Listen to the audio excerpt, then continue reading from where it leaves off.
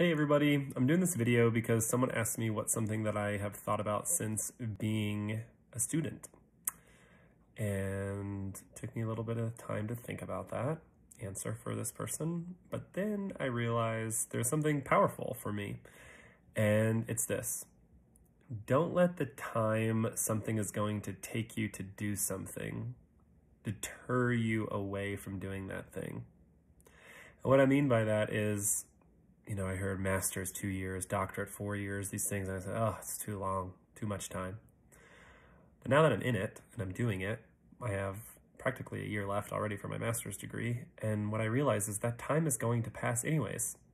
Hopefully, hopefully. But it's, I mean, in two years from now, you can either have a master's degree or you can't. Uh, in two years from now, you're going to be two years older. So what are you going to accomplish in that time? Don't let the time it takes you to accomplish that thing deter you from going after that thing. Go and make it happen. Do it.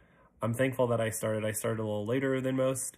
You know, I'm in my 30s starting my master's, but I'm glad that I'm starting now.